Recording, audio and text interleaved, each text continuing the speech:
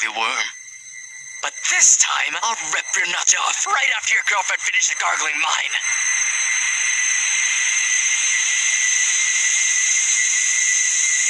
Yeah, I can more easily choke on a grain of sand.